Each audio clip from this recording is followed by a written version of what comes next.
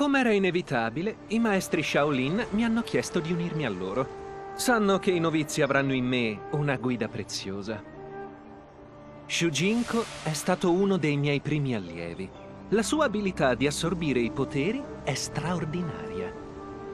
Con la giusta preparazione poteva diventare il nostro miglior campione. E solo io potevo addestrarlo a dovere. Ma con la sua abilità è cresciuto anche il... Infatuato della sua leggenda, Shujinko è divenuto una minaccia per tutti. Non conosce il valore dell'umiltà. E io non ho saputo insegnarglielo. Avrei dovuto dare ascolto agli ammonimenti di Raiden ed evitare di allenarlo da solo. Una volta sconfitto, Shujinko è stato privato dei ricordi e delle abilità. Ora è tornato un novizio, pronto a iniziare il suo addestramento.